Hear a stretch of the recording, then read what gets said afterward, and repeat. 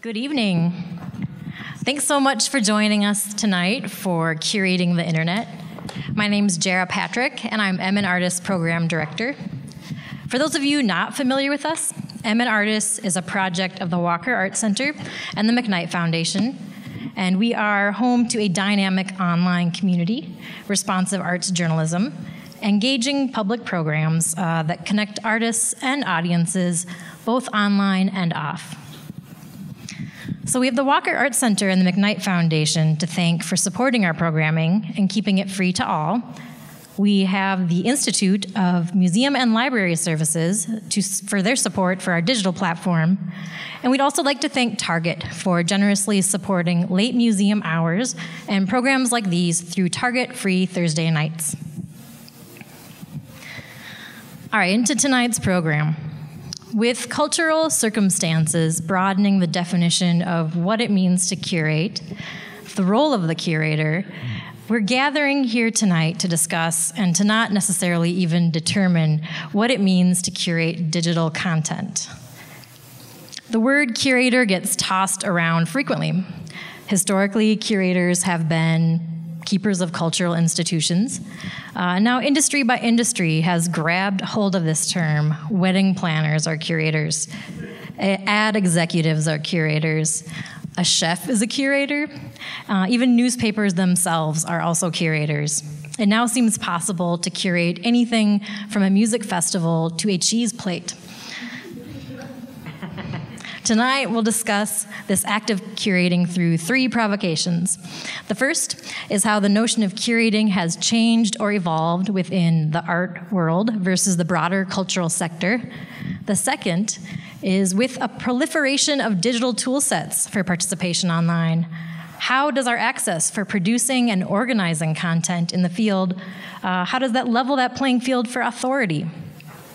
And the third is how we understand our relationship with this premise, how we imagine the web and our participation in the web to continue to evolve.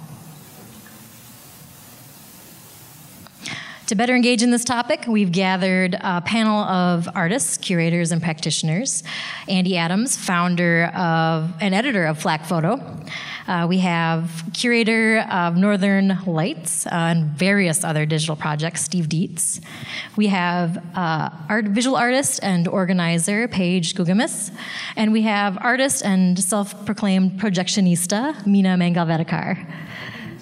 Together, these curators of new media, platform builders, digital thinkers, and users will discuss the current landscape of curating and how the web has impacted curation and collection, experts and aficionados, and taste-making and hierarchies with regard to art and culture, all in the democratic and public domain of the internet. All right, so our format for tonight is an evolution of our comments section program. So if any of you were at these earlier ones, we were sitting in a very small room in a circle, kind of talking at each other. We've scaled a little bit, but we still want to keep that ethos for tonight's program. So if you do have a question throughout the night, there's a mic located in the center aisle.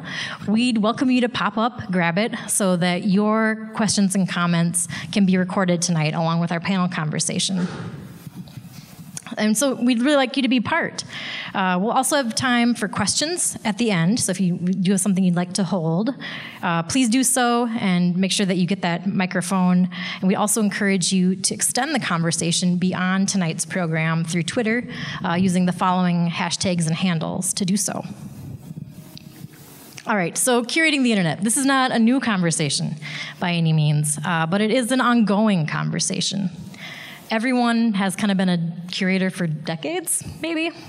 Uh, so, digital curation, as we think about it uh, as a selection, preservation, maintenance, archiving of digital assets, is as old as the medium's emergence.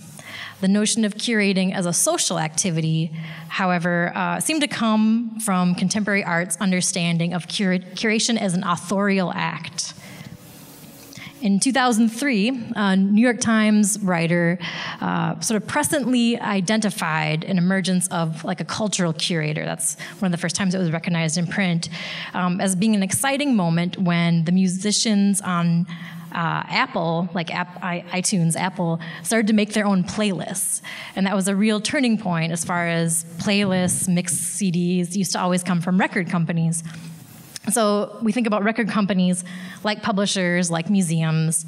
Uh, they've historically served as professional authorities for recognizing and publicizing the work of artists. And this moment really recognized an important power shift, right?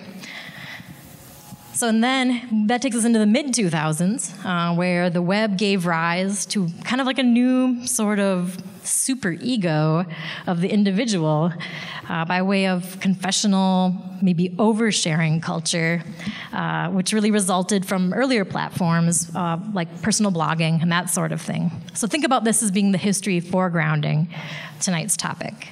Uh, at present day, low barriers to production and circulation of images uh, through blogs, social media sites, etc., have really added to this like endless glut of data out there. Whether it's educational or it's entertainment, so much of it's free. There's a ton of information out there.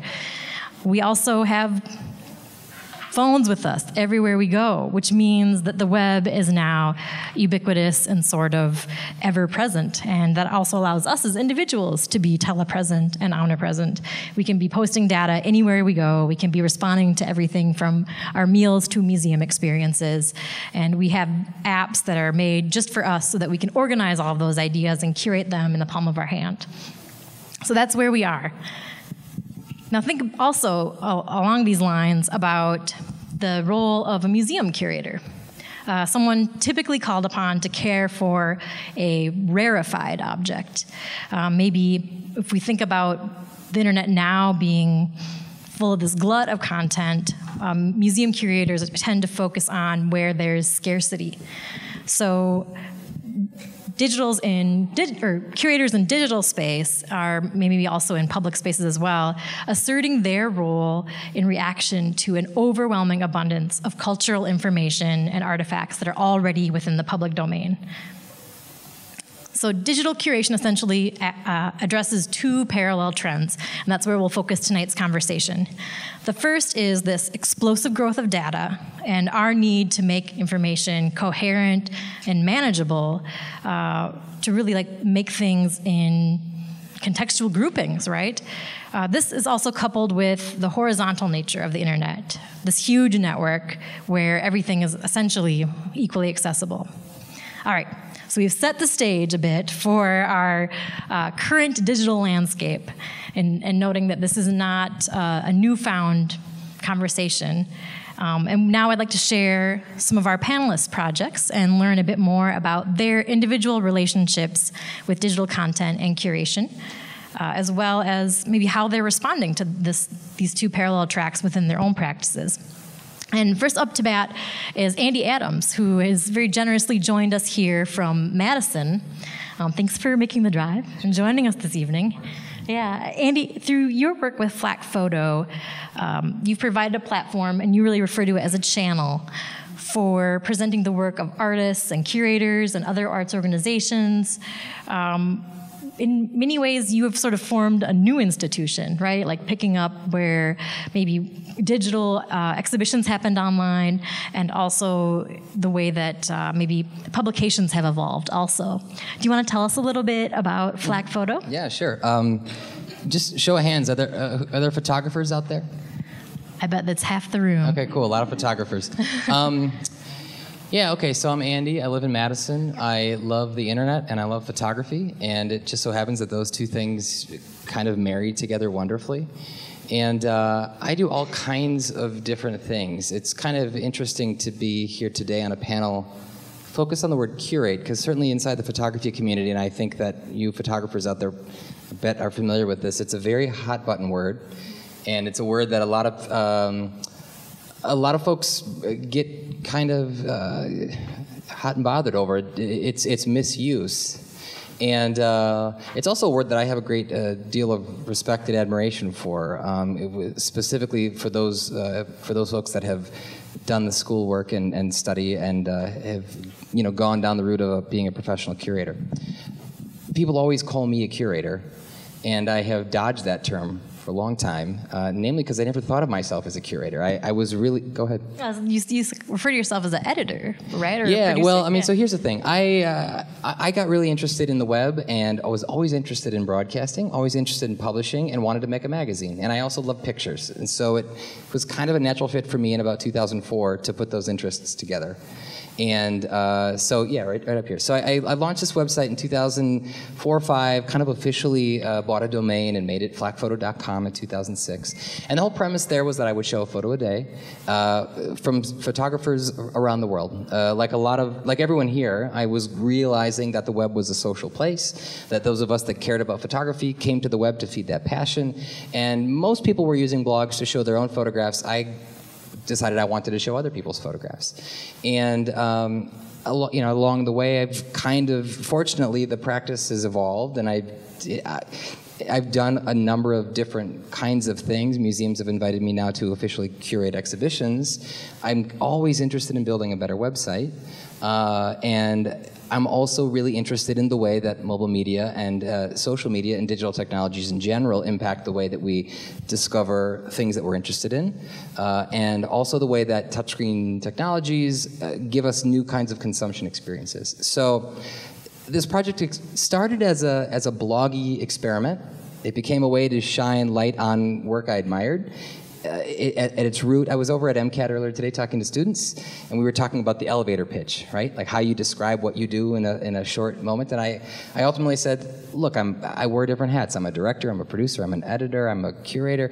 Ultimately, I use the internet to promote photography. That's ultimately what I do. And I have, over the last 10 years, uh, the website celebrates decade of publication this year. Uh, over the last 10 years, I have essentially leveraged every tool available to me to do various aspects of, of that particular role, which is to show images, I promote books. Uh, I also actively uh, tweet and just promote links related to arts, creative culture, photography culture, articles, interviews, essays, etc. I've published interviews. Uh, so really, the project for me is, uh, is it's very much a creative act. It's about uh, exploring and experimenting with that intersection of digital culture and photographic practice. And it's also extremely rooted in a desire to, to showcase work that I think is interesting and to drive attention using the power of the click and the link to those people that I think are doing cool stuff. That's well said. And you've also had the opportunity to bring this very, you know, ephemeral, circulatable place and platform offline as well, and that some of your interest in maybe some of the touchscreen and and uh, IRL experiences Right, with, right. with photo. I'm gonna just pull up an image uh, that sort of transposes this this act of digital pointing Mm-hmm. to uh, a real brick and mortar space where, where you're able to compose exhibitions offline as well. Uh, should I talk about that a little bit? Sure, yeah, let's take a So take a this picture behind us here, this is a touchscreen exhibition, a digital exhibition. I guess you could call it an exhibition. I like to just call it a photography experience because why use old terms to describe new things? Uh, but this is a project that I did in collaboration with the Nelson Atkins Museum of Art in Kansas City. Uh, it was a contemporary show of, of printed portrait photography, and the museum invited me to curate a show of, of uh, uh, drawn from the online community of, of uh, current portrait photography. And uh, really, the big impetus for me with this project, it's always an experiment of form and content. Photography obviously plays a critical role, but really experimenting with the container and the package and how you actually engage with the photography is a real big part of it for me. And uh, I'd seen John Gossage, the bookmaker. Some of you photography book collectors probably know Gossage. And he gave a talk at one point I saw in New York, and he said, uh, photography books are objects of fascination. And he talked all about the contained universe of a book and how books function X, Y, and Z sorts of ways. And I thought, you know, websites are also objects of fascination. And so the whole goal here was to create, uh, along the lines of a photography book, a sustained sort of long form experience. And so what we did here was in the museum, we showed touchscreen uh, monitors in, in uh, relationship to the prints. And then we also created this sort of web-based public art exhibition that was broadcast, or you know, that lives online and was visible to the world. And the whole concept was sort of part public art exhibition as well as online publication. We featured long-form interviews with the photographers. And the point being that you could try trying to do different things with digital that you can't necessarily do with analog. Sure, sure, sure. I thank you so much for introduction to FlakPhoto and to the ethos of the sort of projects that you do. We'll move down to page now, and I want to put pins in like at least nine or ten of the things you said. Then we'll come back to those and have a group discussion in a moment. So next up is is Paige Gugamis, and Paige, you actually started out with a brick and mortar space uh, several years ago here in the Twin Cities called Tarnish and Gold, and since your practice has evolved uh, from this physical curating and, and exhibition producing to digital curation, do you want to talk a little bit about your your sort of flagship site, Lazy Geometry? Sure. Um, Lazy Geometry just started as a personal blog. Um, I grew up online. I love the internet. I've always had a personal blog. Um, and so this one was kind of the first time that I tried to step outside of myself and stopped just putting up my own content and started collecting content um, just from stuff that I thought was being missed elsewhere. Like if I was seeing it, then I didn't need to post it. And so I was kind of just searching for little gems, the same way that we were doing with our gallery space. It's like who wasn't represented um, how could I bring that into a digital space? And so it's just started as a little thing that I would throw up, you know, every day or two I'd add an image. Um, and it's become sort of like an uh, obsessive nature to collect anything and everything that I can, um, and then sort of go back and whittle, whittle down over time. So I actually will post and then remove, and then post and then remove, um, just to capture a feeling of time and space. Ultimately, I want to create something that's now, um, but still like timeless. And what might be some of the uh, the criteria for what makes the cut on lazy geometry? Ooh, there's no limits and there's no rules, um, much like most of the internet. Um, but I think comes down to visual nature. I'm a visual person, so it's like what sticks with me. What do I think about later? What do I remember um, without actually looking at the site? That's kind of what cuts cuts through. And from Lazy Geometry, you started really working with Tumblr as as medium for hosting a whole wealth of, of like tributary sites, right? Mm-hmm. So uh, another project was let's see here, is this MPLS Pizza Club? Yeah. this site delights me very much. Good. I'm glad. It's just totally mm-hmm. for fun. Um, this one actually drives as well from a physical experience. Pizza Club's a real thing. Um, we meet regularly. I meet by myself with Pizza Club a few times a week. Um, so I just wanted to sort of like document what my experiences were and like why I like pizza. I worked in pizza for a long time, and so it was always present, and people were always sharing pizza information with me or what they thought was funny. Um, and pizza just started to mean community for me. Um, so that's kind of what this site is about. It's mostly just to be relatable and to be fun. Um, I think you know most people have had pizza, have some memory with pizza. Um, so I'm just kind it's of It's really universal. Yeah. yeah, it is. Pizza is totally universal, and so it's just a documentation of. I don't know, everyone expressing, you know, what they love about it. And I've really enjoyed curating that into like, you know, what I think is fun. And um, the challenge with pizza is like everybody gets certain pizza stories. So there's a lot of things that hit like the main pizza culture, I guess. And what I'm trying to capture isn't necessarily what is always like the first image that you would see. I try to go a few levels below that.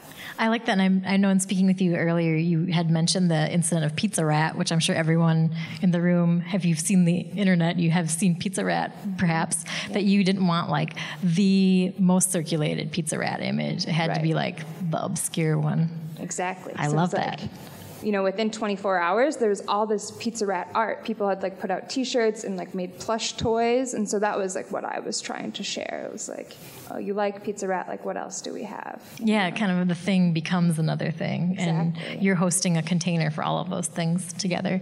And I, I know that you are really drawn to Tumblr, and that's sort of your medium of choice. Tell us a bit why why Tumblr is uh, the ideal format for telling these sort of like relationships and stories between images? Okay, uh, I just love Tumblr. Like I said, I've been online forever um, and tried so many blogs and just didn't really feel like any of them were as smooth or as interesting or had the users or the content to them um, that was organized in a way that I could pull up anything in like a second. Um, you can respond with GIFs. You could have conversations on Tumblr without actually ever typing anything if you wanted to. I just think it's versatile and interesting um, in a way that a lot of platforms aren't. And kind of like Andy, I've never really thought of myself as a curator. I've kind of ridden this line of being like a user on the internet, and that's what I liked about the Tumblr format. Is there's no pressure to create a platform or even generate your own content. Um, so it's just open.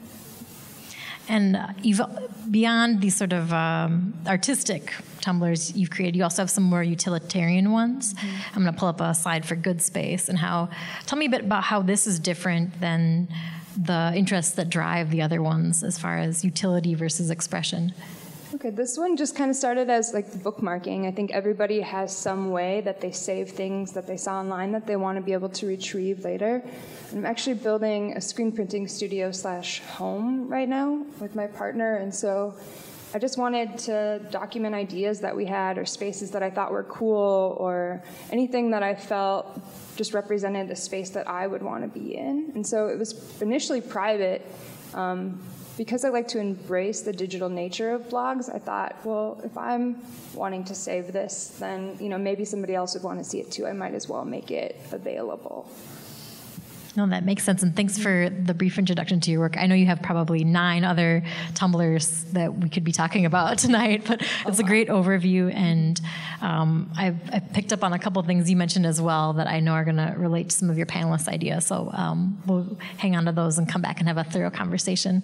Next up is Mina, Mina Mingal In your own practice, uh, you're kind of interested in reclaiming and transforming public spaces. And so I'd love to take a quick look at a couple of those projects so that we can uh, introduce folks to your work and then move on to, to your role and relationship with digital culture. Uh, do you want to tell us what this first one is here? Uh, so the first one is called Forward 50, uh, and um, it was a participatory projection uh, as part of Secret City Festival uh, in Minneapolis.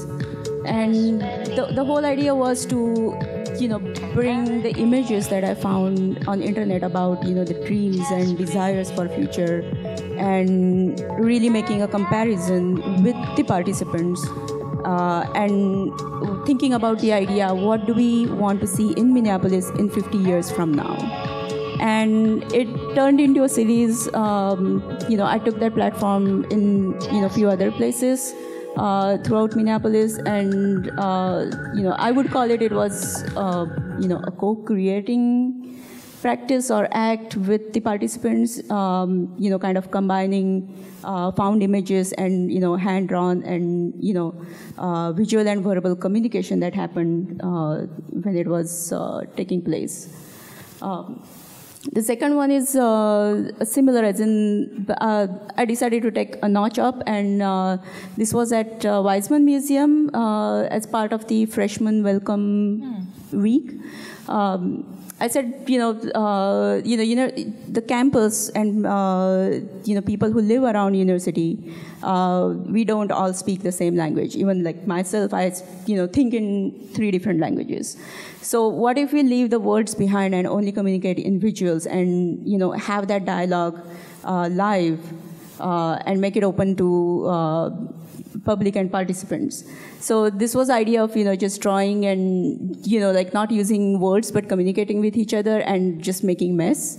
Uh, while there was uh, there were two bands playing, so it was kind of like call and response with that music, and um, you know I, I, really enjoyed that. yeah, um, I'll pull up one more. Uh, this project is uh, called Take the Field. It's the second project in the series. Um, this happened in 2014 um, on Kicksfield, and it was, uh, you know, part of uh, Northern Spark and uh, Greenway Glow. That's a fundraiser for Midtown Greenway Coalition. Um, and I worked with uh, a team, uh, you know, to make all these uh, LED shapes. Uh, basically, I went around, talked to people in Phillips neighborhood, uh, you know, around their houses, and you know, uh, collecting stories. And um, I was also making, you know, marks you know, abstract shapes that I found around that area, or some, you know, uh, parts of the artworks in the in that area, uh, like murals, and uh, you know, select a few. Actually, there were 500, and uh, some volunteers and uh, a team helped me, you know, put these together. And um, the idea was to, you know, bring these memories from the community uh, onto a sports field and transforming the space for a for a night uh, into community space. So kind of like taking away that private uh, authority and you know just thinking about a different urban landscape for for a night, and uh, the like uh, we lifted these uh, forms up in the air, kind of like mimicking the constellation, and you know what if we animate the lines that are on soccer field. Uh, you know, what if we are under those lines? You know, so there were a few ideas that uh, you know were yeah, I experimented with that. Well, thanks for sharing those. I, I know when we talked earlier, you were sort of like, uh, I don't know if we should show my work. I don't really work in the digital sphere in that way. And then the more I hear you talk about your work uh, in in uh, synchronousness with the rest of the panel, you're really dealing with a lot of the same concepts of, you know, taking circulated images and letting a community sort of drive them uh, while providing a container for them. And uh, I think that that's really striking. And also, like, how do you you are going out to the community and finding images? It's just a different community. It's a, a real one as opposed to a photographic community or a pizza community. You're still pulling those things um, from those locales and and providing a, a housing for them. Um, also, when we spoke you mentioned uh, something that was exciting when, when Paige said it as well, is that you think of yourself as a, a user more than like a, a, curator or producer, that sort of thing, especially with relation to the digital. Do you want to talk a little bit about your own position as a user within this uh, con- yes, context? as in I love internet. I don't, uh, well, at, at one point I used it, uh, you know, just creating work off of internet and putting it back on, on the web.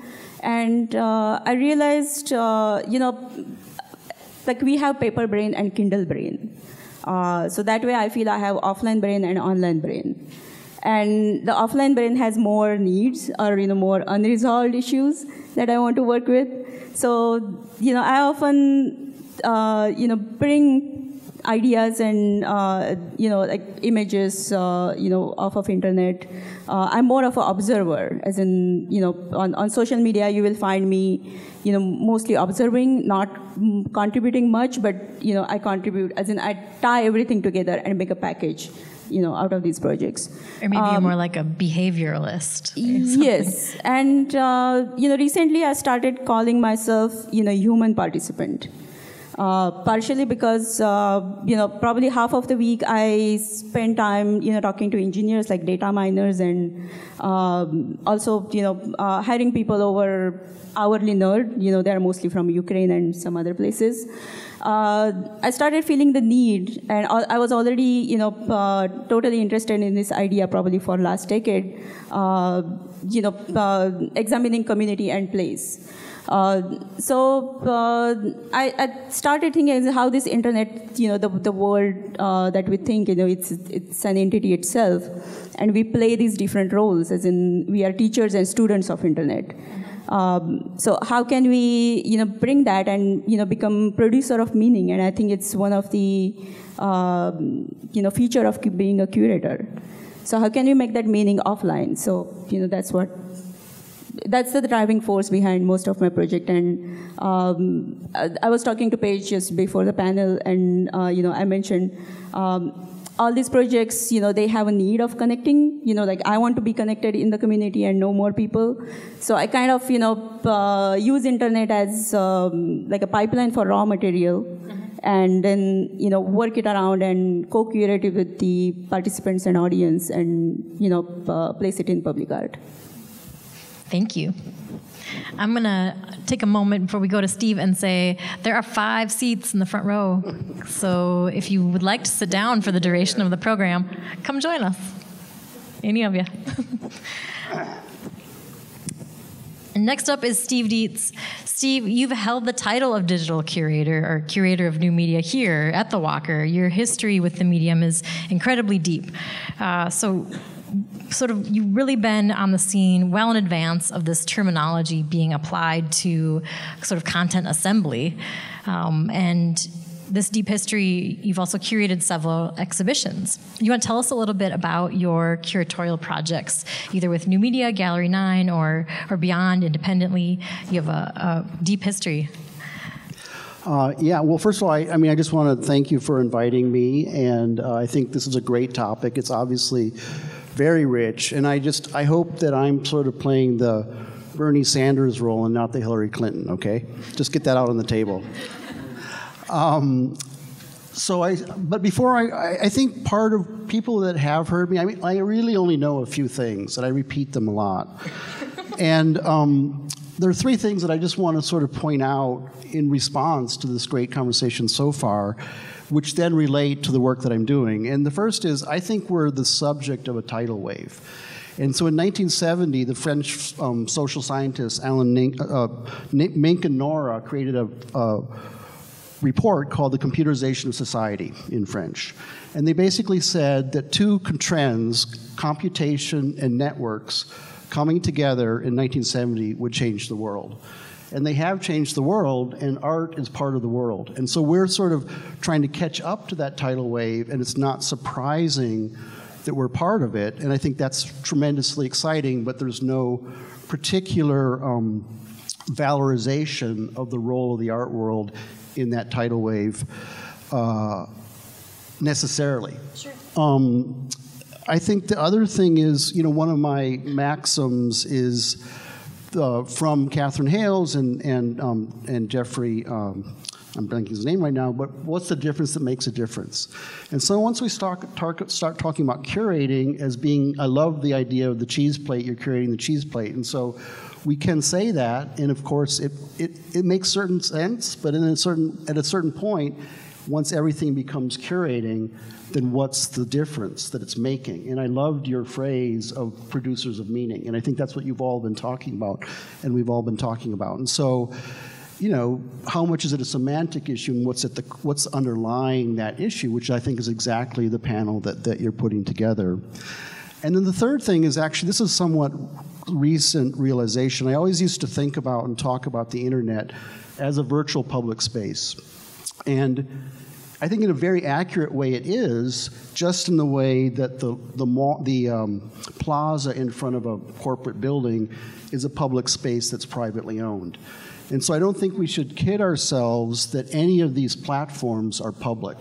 They're all controlled by licenses that we sign and that we give up lots of rights and they can disappear and we don't necessarily have access to them. And so when we think about them as being totally accessible, it's a really accessible to what? To a corporately owned internet. And that's really a hard thing to think about and not necessarily a fun thing, but I think it's an important thing.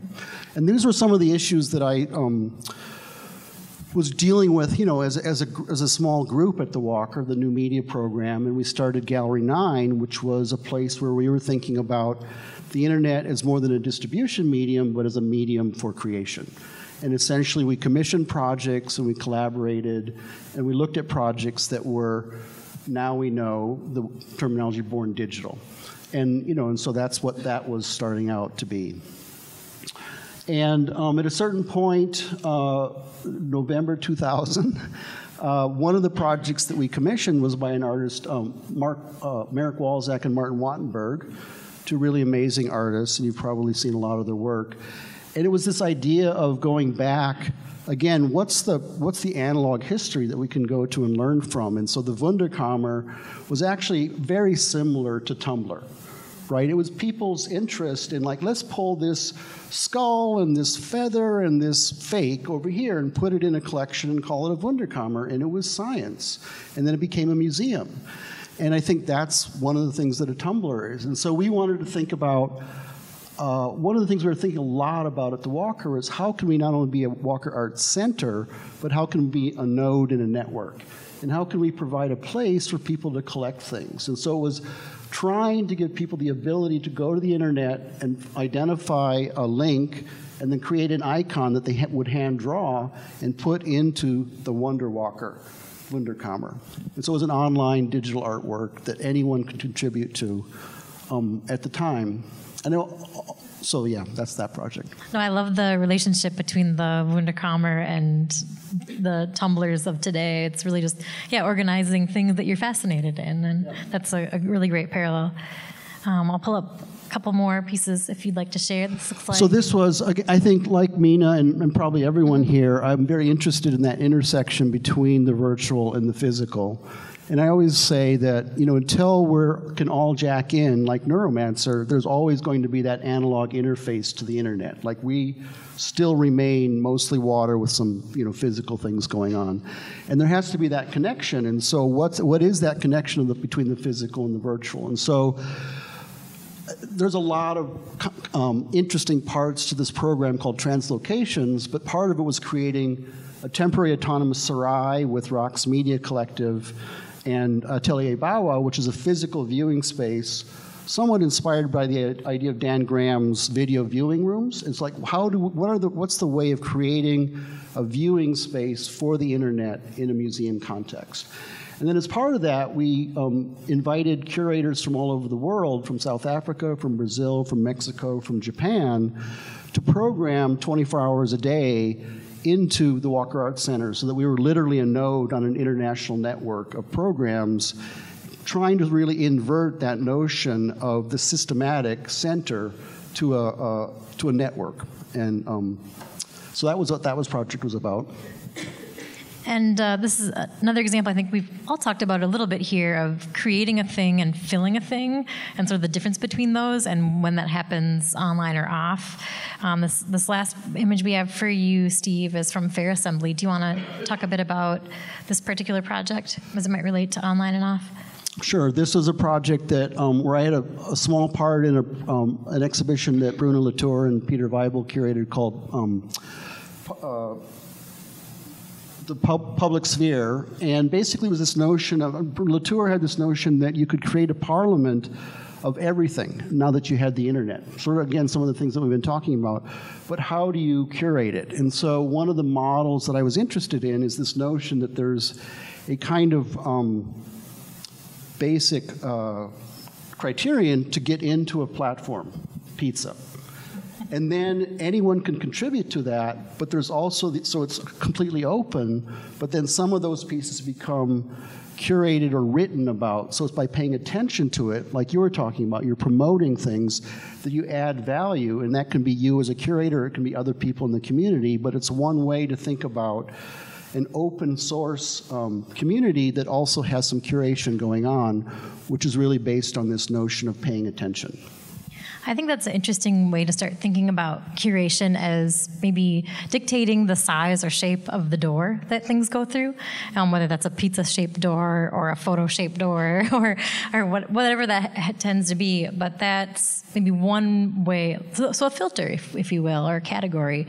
And this is a nice way to, to bring ourselves to a conversation um, that might just help us establish a little bit of criteria around that, that tricky word, that thorny word, which is curation. And in thinking about what curation might mean as a group, maybe we can just have a, a gentle conversation of semantics so that we can either crack open some of those doors or toss out some ideas that we feel are antiquated as a panel and move forward. So I'm going to pull a quote from uh, this, this book by Sternberg Press, which is called uh, Cultures of the Curatorial. And in the introduction, uh, it states that the curatorial has developed as a field of overlapping and intertwining activities, tasks, and roles that were formerly divided and more clearly attributed to different professions, institutions, and disciplines.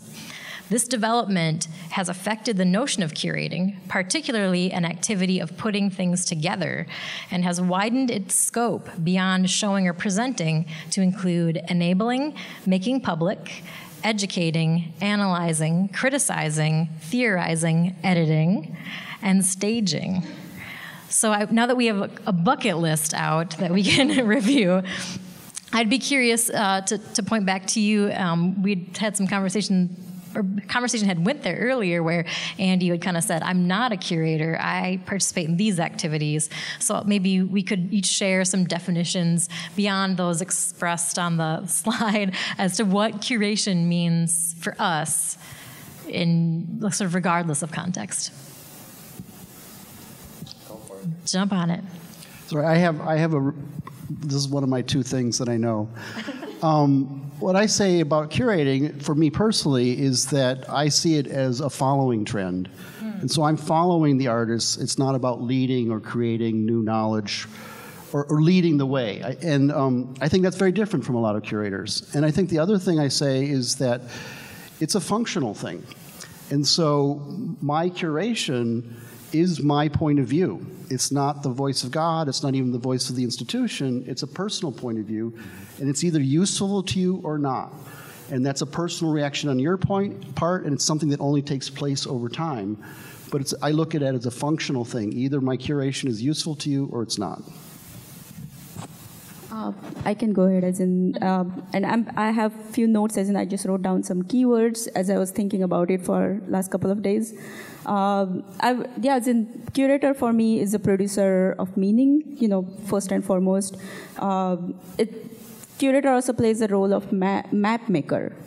Um, you know, just, just bringing these ideas together and bringing some clarity uh, to some of the phenomenons and you know uh, also uh, looking at the incremental changes of the reality and being a follower of that reality and making that available uh, i think it's much more personal as in uh, curator is not different than the person you know that is and, a curator can be even uh, a sociobot as in it can be a computer it, or a, or a machine, but it's not different than its own nature. So, you know, uh, I, I, don't think there is a collective curator. Uh, there is co-curator, but there is no collective curator. So that's how I think about it. Um, I also thought, uh, you know, curator is also education hacker, like edu hacker. I think curator comes out and you know challenges the traditional uh, placement of some of these uh, ideas. In, in culture or you know in in any form even you know um, the way we know how we make friends or how, which friends we keep curator jumps in and you know uh, decides to hack that idea and we come up with a different set of friends uh, in, in different places. So i think that you know the hacking like self-hacking is active in curator i guess yes and yes uh, yeah. I like Steve's idea about attention because I think about what I do all the time in relation to that thing, which is an increasingly scarce commodity, right? Um, I don't know about you guys, but I'm addicted to my phone. Like, I can't really help myself. I look at it even when I know I, I should be preparing to go to sleep and like going offline. I can't really help myself, and and uh, and yet I don't even always know what I'm looking for when I look at the thing. And so eh, that sounds a little goofy, but what I appreciate it is. It doesn't sound that goofy. Okay, cool, cool, good. You're not alone, Andy. No, no. And, and, yet, what I think what, what makes sense there is that I actually have this craving to to consume things that interest me, and I don't actually know that what I know what I'm doing is not significantly different than what a lot of other people have done to precede me. That me or my people that don't even call themselves curators. Essentially, they're they're just saying, check this thing out. If you like what I like, you might dig this too. And uh, so I show photography and I, and I promote books. And I also just really actively promote links to interesting things related to photography. And this is going to sound sort of disparaging, but lots of times I just call myself a link jockey because I, I think of myself like a disc jockey in a way. Uh, there are there's tons and tons of great songs out there. There's tons and tons of interesting links out there. And I get a lot of per. And the other thing that these both of these guys said that I really uh, associate with is is a, a real personal pleasure uh, from actually just doing the, the curating, the organizing, the aggregating of the, the information. It, it's, it's, a bit more service oriented for you. Might Does be. that sound? Yeah. Yeah, maybe. Yeah, I mean, I, the other thing is, lot, my, my, projects have a very, and I think Steve and I probably have some things in common from what I understand of what he's done. There's a real strong community component to what I do. I'm, I'm very interested not just in showing things, but in engaging the audience and uh, you know, kickstarting conversations about the things that I'm actually suggesting we all consider together. So I host photography-related uh, groups on Facebook, where the whole purpose is to ask and answer questions. The whole purpose is to say, let's go check this thing out, and then let's have a conversation about it online, remotely, and asynchronously. And so part of what I'm what I'm interested in doing is driving attention to certain images or ideas and then, uh, very much like you were describing, uh, really, uh, I consider myself just part of the community as well. Mm-hmm. And I'm learning along with everybody else. And so maybe we can add the word like facilitator or guide along with. Yeah, or, or yeah, curating. I, I, a host almost. Host, yeah, no, that's hospitable. Um, how about for you, Paige? Do you have other terms or criteria you'd like to apply to, to that tricky word of curating? I mean, I think I agree with everyone. Like, yes, yes, yes, definitely. And I, I'm kind of scared by the idea that it can be curation can be anything. Um, but I also sort of believe that. Like, I think it's about promotion. I think it's about pleasure. Like, it comes out of, you know, a personal filter. Um, I do think it's like so much just about sharing. I think what I think of curation is a, in a classic sense. I think of something that's like archival and you're presenting it and you're connecting dots. Um, so ultimately, I think if we're going to talk about like elevator pitch, that just comes down to sharing. Absolutely. So I'm thinking other definitions for curator might be gatekeeper or connoisseur or maybe aficionado. I mean, Or maybe geek. a geek. Yeah, if you just geek out about something, that's also a connoisseur, connoisseurship, I would believe. Um, so I'm gonna thinking about the multiple aspects of your practice. Um, when we think curators in a traditional sense, sometimes we think about uh, expert in their field. That was what I was sort of getting at by connoisseurship, or like the expert that's called in for their field knowledge. Um, so, what does it mean to be a curator who's flexible in that position, who maybe moves between identities, like all of us do up here? uh, from party thrower to organizer to consultant to director to artist. Uh, what does it mean to sort of the expertise provided? Uh, does that ever offset the validity of the voice? Uh, what is a how does a fluid curator, someone who moves between things, compare to the traditions of an expert? Maybe it has to do for me. I think when you're going to define like expertise, I think it would imply like understanding of a large realm of something. Like you mm. really have to know what's out there to say that you can give an informed opinion or an informed presentation. But expertise is tricky. But I would look at you as a pizza expert, though. I mean, Sure. there's no denying. I put in the time. Yeah, absolutely. a lot of pizza least. time. Yeah. So maybe the, the other way to flip the question is do you think of yourselves as specialists or generalists? I definitely don't. Well, I mean, I, I guess I specialize in in pictures, uh, but no, I mean, I'm s- I'm not a scholarly expert. I am a guy that loves photography and is obsessed with it, and spends most of my spare time looking at it and learning about it, and studying it and wanting to understand it. And How's that different than a scholar? I don't know that it is really that different, other than I don't. I guess I ultimately don't claim to be an authority. That's really the distinction. Um, what's true for me, and uh, you know, if any of you guys know anything about what I do, what's true is that if you look en- at enough uh, FlakPhotos, you'll see me in those pictures. I mean, there's a style that I'm drawn to. There's an aesthetic that is my uh, a kind, an aesthetic that I think sort of defines what I like. Sometimes I feel like I need to see broader than I do. Um, but yeah, for, for me, I, I, I don't claim to be an authority. I don't claim that the things that I do are somehow hierarchically superior to other other uh, images or ideas that exist in the culture. Uh, I, I say if you're interested in the kinds of things that I'm interested, come along and check this out. I think you'll you'll enjoy it and and hopefully you'll get something out of it. Can, can I just, uh, I don't know if it's pushing back or asking or, so it, seems like there's a difference between authority and authorization. And um, you are authority in terms of your, your project and your platform. And I think that um, part of what I would say is that we have to own up to that and be transparent about it. And it's not and it's really based on this is what i meant by being useful that you the reason you have x followers and it's succeeded for a, a decade is because of your authority with images but that's not an authority that's given by an institution it's an authority that's earned every day through your experience And, through your publics. and through your public, but also that people can push back and just say that's crap, right? You know, that's uh, that's all he he really likes people with blue eyes or you know whatever. I don't know what it is, but Um, and it's that, keeping that, those communications open seem to be more important than trying to avoid the idea that we're authorities in our fields. I mean, the idea that we're not authoring our platforms is a little bit of subterfuge. Yeah. I, I agree with you. Um, but we don't like the word authority, right? I agree with that. So I have a compromise. Yeah, Bernie, in, I come on. propose a compromise. Producers of meaning. Influencer. Influencer. As in, it, influencer can have its own positive and negative connotations, and you know, it, if you are a good influencer, I think you gain that authority out of respect.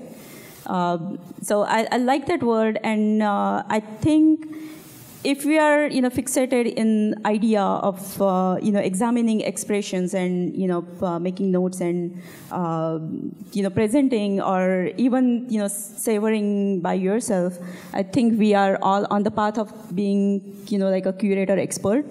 Uh, so we cannot be generalist, but we can be general practitioner of curator. You know, considering web and you know even the offline knowledge is so, you know, like widespread and you know just abundance. I'm not going to let you get away with that.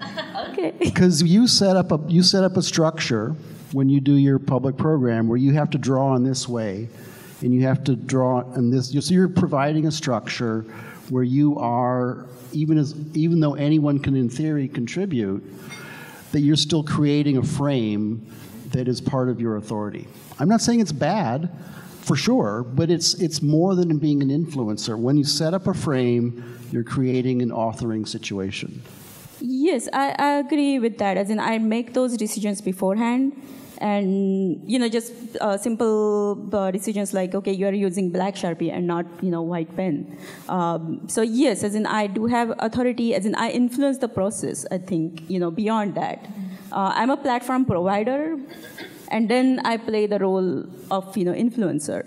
And um, actually, I forgot to mention one thing, as in in these uh, live projections. Um, you know, it came uh, from this, uh, you know, the GOP debates and, you know, everything that was happening two years ago. You know, two sides of Congress were not talking to each other. So I came, uh, I started experimenting with, you know, pairing up two strangers and, you know, let them have conversation, let them play with these images and add their own thoughts um, and come up with the, you know, idea that's a dream, but that is, you know, common to both of them or uh, to that group. So I think yes, as in when, when that process was happening, I was being that you know like a coordinator or influencer, and uh, so yes, as in I don't totally disagree with you now. And I, another idea that just kind of occurs to me, I, I, this I don't even know if this is true, but I know I feel that what I'm doing is is creative. Like it's there, it's, it's there is a creative act involved in doing these things. So uh, you know, I it's kind of crazy, but like uh, if you like particular filmmaker, you're going to go check out what he or she does based on her or you know based on the reputation of their previous work alone. And i you know i i def i come from a very non-traditional photography art. I don't i didn't study art in school. I did study the aesthetics of cinema. I studied the history of, of broadcasting. Uh, so everything i do sort of is rooted in, in that in that framework. And uh, and, and yet you know, maybe this relates to the, the, the, personal and, and pleasure seeking aspects that we discussed, but I guess I'd like to think that what, that there's a place, and I don't even know it's a new thing in, in this internet moment, but that there's a place for these to be purely creative acts that are just acts of personal expression by way of, of uh, assembling, presentation, uh, by shining lights on, on, on, image makers, by, by making connections, by you know, inspiring ideas.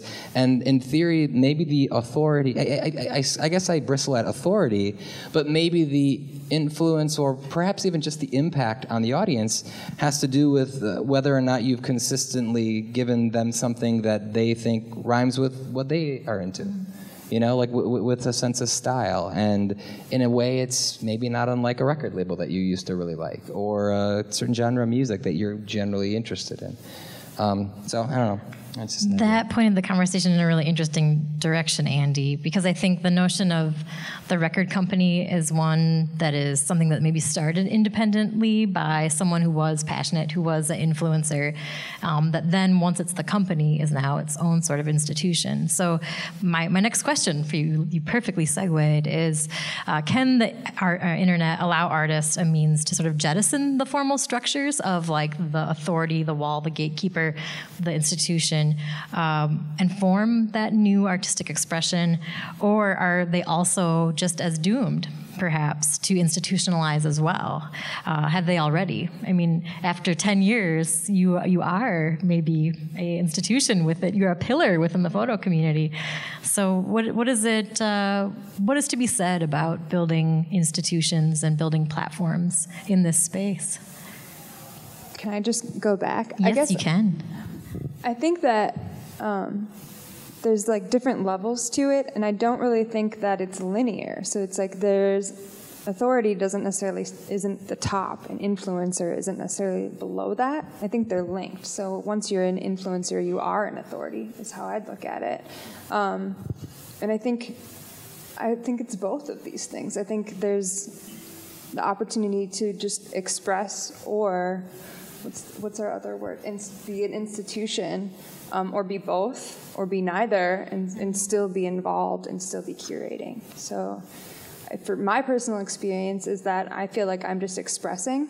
Um, I don't feel like I'm an institution, but when you look at like Andy's work or what y'all have done, it is a little different. Or maybe to your followers, you are like if if someone's following you, and every time that you know ping happens, they're like, I gotta see this. So, is it a question Yeah. of establishment? That'd be awesome if every time that your audience got a ping they wanted to look. Mm-hmm. That would mean that you were consistently giving them something good. Yeah, absolutely. That's a great thing. Yeah, I often think of that, you know, bad. that ambiguous balance of, uh, you know, authoritative curation and uh, like crowdsourced curation. As in, there, there are examples. Uh, museums have, uh, you know, just set out images uh, and you know took a poll or you know had people choose over Instagram, and that became the next show. Uh, there is you know, if that happens, then probably I, I did not go to any of those shows, but you know, I was just like thinking this is like a fantasy football.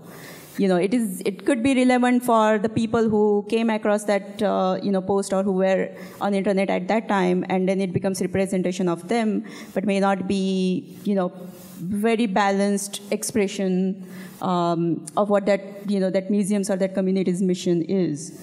Uh, so I always I I think of that you know like where is that balance or how that balance shifts, um, and kind of like uh, you know like going back. Um, I think that question, like building platforms and institution, or you know bringing changes, it's it's totally needed and it's long overdue. I have, as in, this is like a, you know, it opens up so much, so many things in my mind.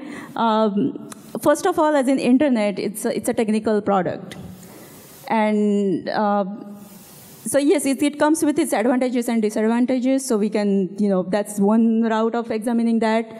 Um, it's a great tool of collaboration, and we haven't seen a lot of that, as in that. Uh, you know, you can preserve something or you can keep changing something. So, you know, there are, I, I believe uh, when it comes to curation and internet and even, you know, these offline institutions, museums, um, I believe that as in the strengths are their weaknesses and weaknesses are their strength and that somehow kind of makes them more human.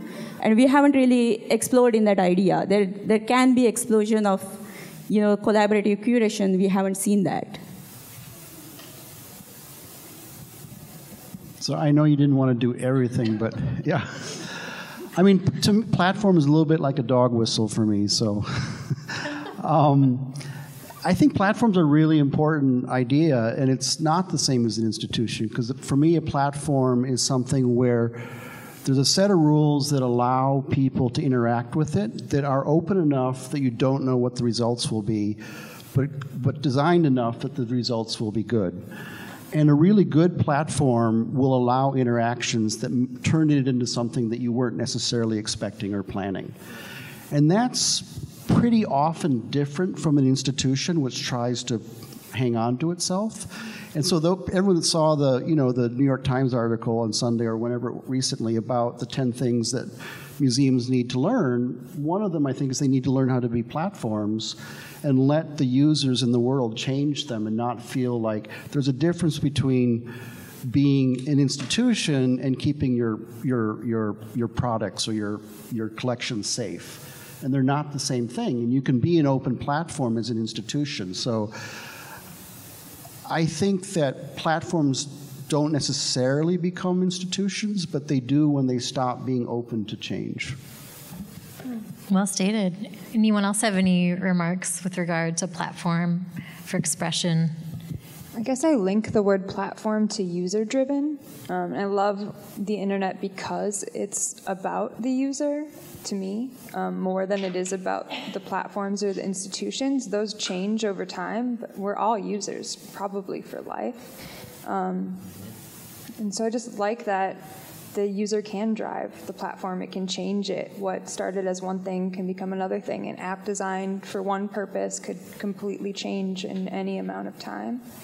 Um, but I've never drawn that line, so I'm really interested in what you just said about how a platform would become an institution or what the, the rules are for that. Yeah, I, maybe building on that, the only thing that I think I could that I might add to that is that I don't know that any of us here have set out to become institutions, but I'll bet that we're all more nimble and flexible than any institution on account of the fact that it's us without a committee. The humanity. It begs the question: Do you want to be an institution? I mean, I don't actually know. I, one of the one of the great parts of, of the FlakPhoto Project is the ability to improvise and adapt and play around and experiment. And I don't. And I, I would assume, and I because I've been employed by institutions uh, that's all, it gets a lot harder. The you know the more sort of entrenched you get in the rules of what who I've you heard. are. Yeah, right. Yeah, right. Exactly. So yeah, maybe I, I, I guess at this point I. I I, I, like that sort of uh, nimble, flexible, uh, the smallness, and I think that there's real benefit to that. And I think perhaps, you know, that might actually be one of the defining characteristics of this moment where everyone is a channel and you broadcast yourself and you get and that's I don't mean to say broadcast yourself but where you get to be what you want to be when you want to be it and I think that might relate to what you're saying in terms of you know off and on at the same time mm-hmm. Good thoughts, you guys. I'm going to keep moving along as we hit a couple more points and then break to questions. I'm going to pivot us a little bit with a quote from Clay Shirky, who said, Surplus always breaks more things than scarcity. Scarcity means valuable things become more valuable, a conceptually easy change to integrate. Surplus, on the other hand, means previously valuable things stop becoming valuable, which freaks people out. And I thought this was a great question for us tonight um, as we think about really how do we cope with so much data? That's my question to you. Isn't it a good problem to have? Oh, I didn't say it was a problem. I'm just saying, what do we do with it? How do we cope? How do we respond? Obsessively organized. yeah, do you mean we as in we, or we as in we? Like I mean both. I mean, as as individual practitioners and as as a group, what do we do with our own habits? Uh, does does uh, do we need to limit a supply to make meaning?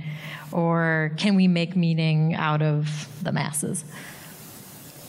I hope we can make meaning out of the masses because that's what we're dealing with. I think we're all driving content. So, I mean, there's how many billion people on Earth? If everyone even created just one thing that exists in a digital space, that's a huge amount of content to, to deal with. And the reality is that we're driving so much more data than that. I don't think it's a problem but it is overwhelming, and it is hard to find quality. Uh, so, I mean, I, I agree that more data is probably better than restricted data. But one of the interesting side effects of, you know, one of those unintended consequences, we created um, interstate, we created roads, which created suburbs, which created climate change, right? Because of all, you know, so there's like these unintended consequences. And so one of the unintended consequences of huge data is that we tend to close in on um, people that, and sources that we already agree with. And I think that that makes the uh, understanding of other points of view and the, the need to address them problematic. I mean, you all are probably much more uh, responsible about that I am, but I tend to sort of like, you know, read my sources and not their sources. And so that's one of the ways that's common to deal with too much data, and that seems to me to be a problem, not necessarily inherent in a lot of data, but just one of those consequences of it. Um, I kind of I'm, I'm stuck on these two words in surplus and scarcity and mm. you know data. Uh, data for data's sake you know which i encounter many hours a week uh, it's just you know one-sided look at you know uh, objectification of data that can be sorted and organized. Um, i tend to you think of data as uh, you know a bag of things you know, as we move through our life and you know situations, uh, they change places. They they are in that bag, but they are you know they're moving around. So uh, you know, once you start looking at data from different perspective, I think you know it just opens up so many ideas. And scarcity is uh, you know it's something artificial, I believe. Um, oh, I like that. It's internet. You can you can make you know millions of replicas of something yeah.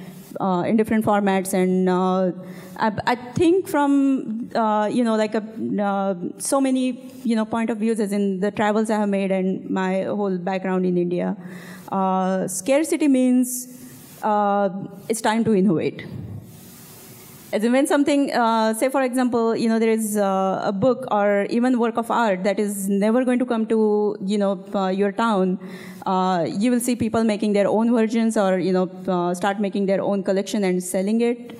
Uh, there is a term called jugaad. Actually, it was, it's a Hindi word, but it was invented in Twin Cities by a marketing professional. her name is Simone Ahuja.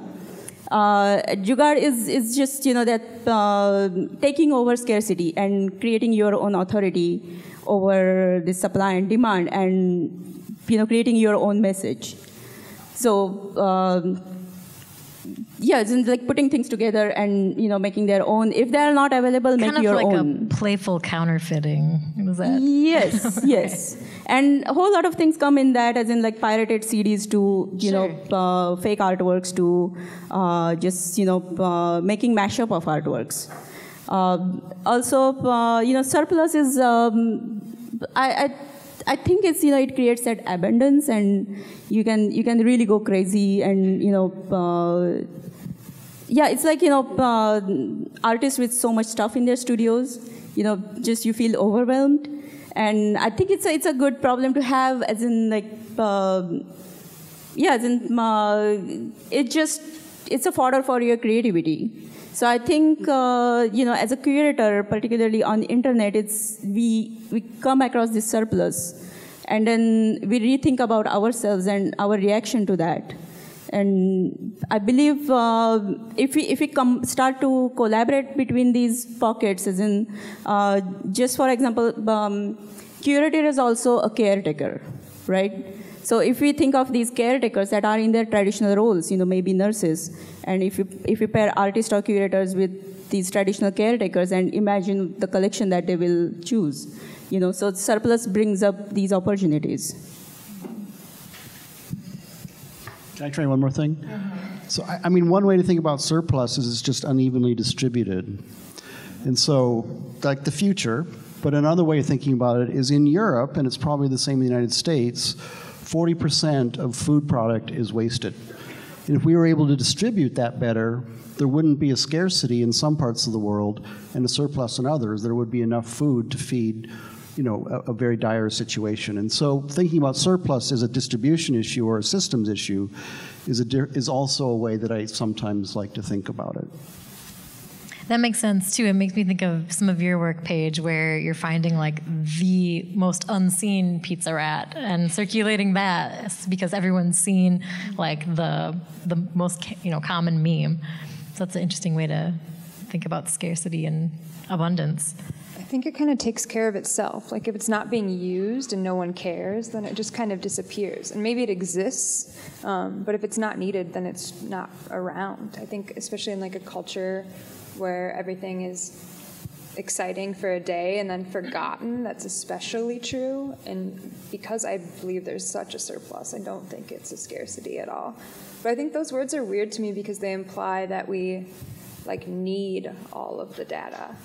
Whereas if we don't mm-hmm. really need Or maybe it. not necessarily need, but the impetus to collect. Mm-hmm. And when we pair that need to collect with the, the offline realm, right? That's a primary reason museums of any variety put things in their collections is mm-hmm. that there's you know, perceived they're perceived to be rare. There's a, they're a rarity, and they want you know to have one of those uh, to hold and preserve for for futures to come. And so I wonder if that's why, particularly in the art and, and culture sector, we have trouble sort of thinking about collecting digital things because while they're passing, they- it doesn't seem as though they're they're rare, if and that that makes sense. Even though they do pass, I mean things move and the churn is fast. So, what are your thoughts about that? And the last thing, I'll, well, d- just that surplus piece. I mean, I think it's a good problem to have. It's, I know, I'm sure many of you are like me. You have a voracious desire to consume it all, which is impossible and maddening, and and yet kind of thrilling because the surplus actually is evidence that we have more choice than ever before, which is, I think, a really good thing. Um, in a way, maybe it's. I'm reminded of that MC Escher drawing hands drawing, right? Because in a way, from my like, I use Twitter every day and I love it, and it's it's it's my number one source of discovery for all kinds of things, not just photo art and so forth.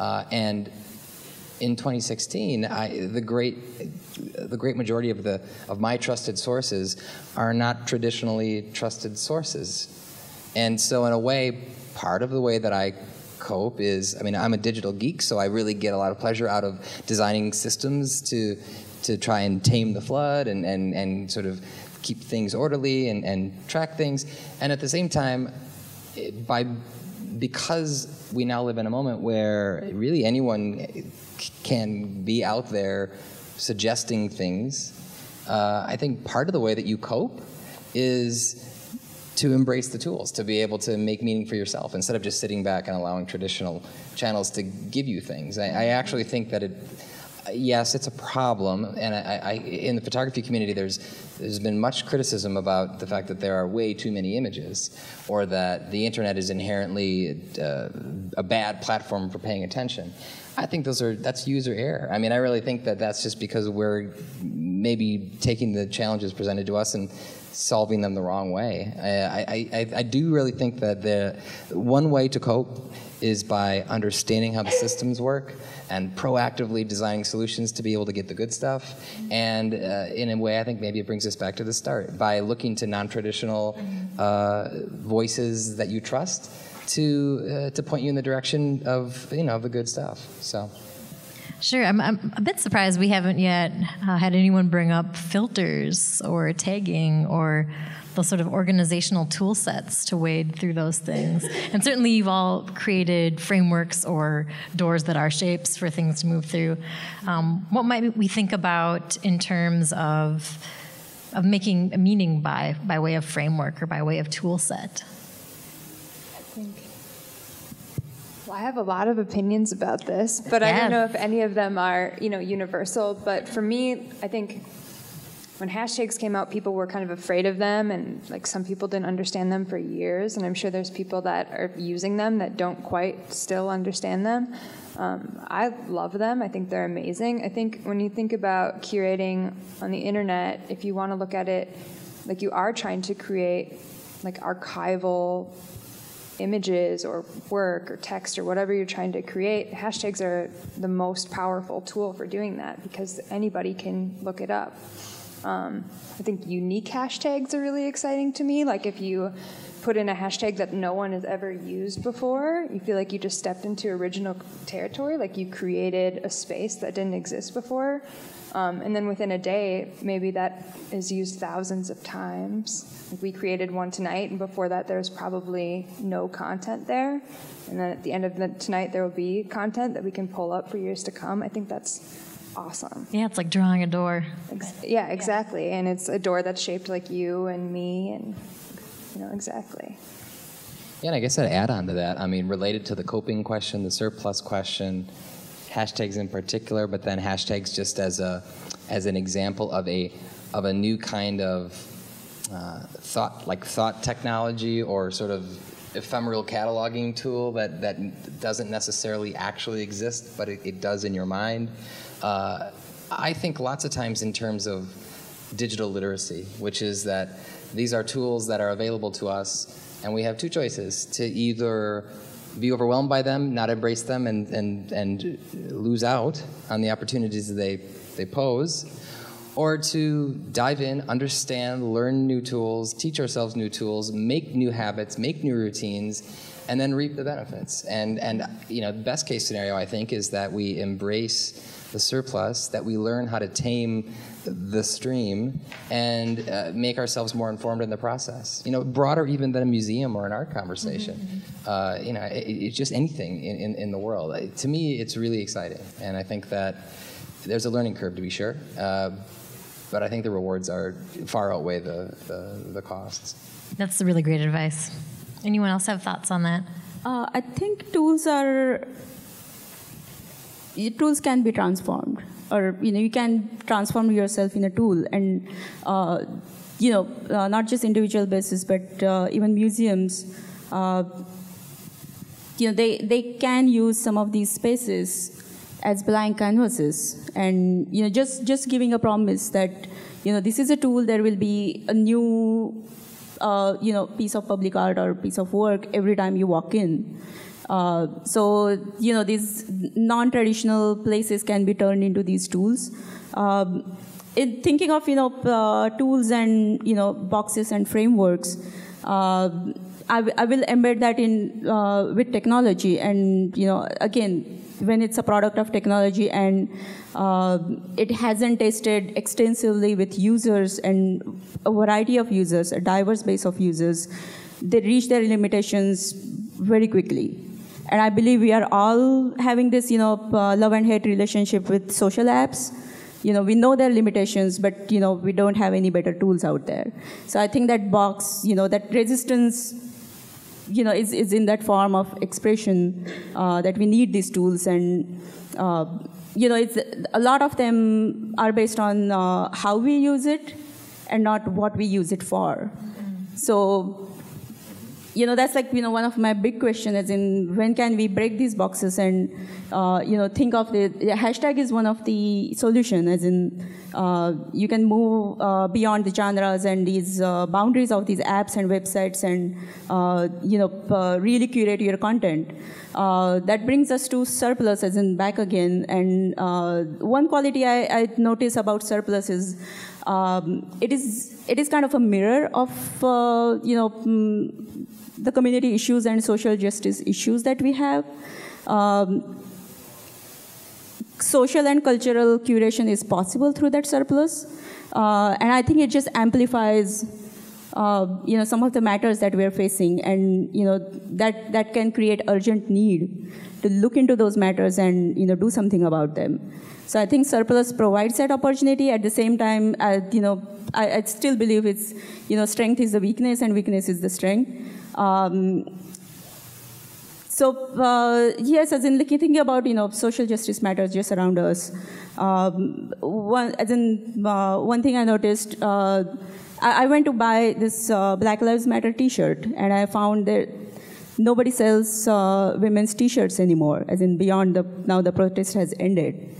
Really, as in, I sent out call over, you know, Facebook, and uh, you know, some a few people, they kept uh, sending me leads, and I kept calling them, and finally, uh, you know, I placed order at uh, Ancestry Books, Uh, they have a pop up on every Saturday, so if anybody wants it, you know, just go there. But you know, again, this this idea that um, you know maybe women are not active, you know, enough, so let's not make T-shirts. I, I don't know what was happening. I'm not going to just you know make speculations, but Some kind of data yes, as in something. these, yeah. yes, these these you know tiny issues they, they blow up, or you know issues in feminism, how we how we connect different uh, age groups together. You know, all these issues they they just become bigger when we as in when we start sorting through data, uh, or when they come to to internet, they just become bigger.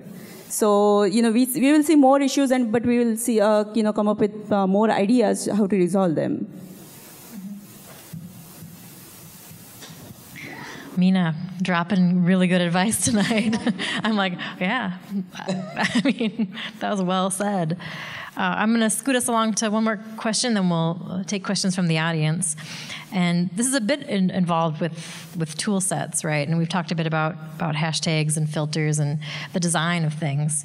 Uh, I'm going to throw another quote. This is from Will Brand, who's ex editor of Art F City. Uh, he, he left a few years back, but at one point he mentioned that if we strip out the myriad social and administrative tasks of the real life curator, the connections, the negotiations, the shipping and hanging and lighting and writing, we can arrive at a pretty simple job description.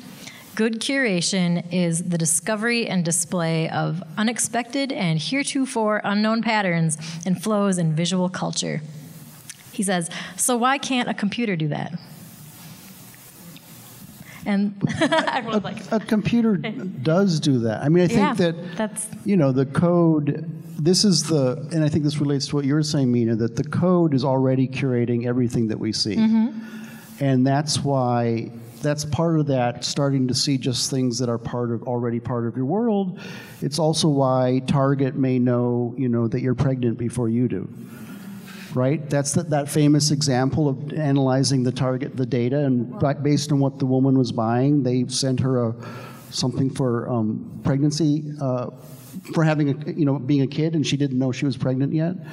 And so this is a re- this is part of not having an open internet where we don't know what the algorithms are that are create that are curating what our experience of the internet is. So uh, you know, I, I think it's both an openness issue and a little bit of a, I mean, I call it a, a powers of 10 issue. And so that for some people, working with code is at the level of hexadecimal. For other people, it's at the level of HTML. For other people, it's at the level of the at sign on Twitter.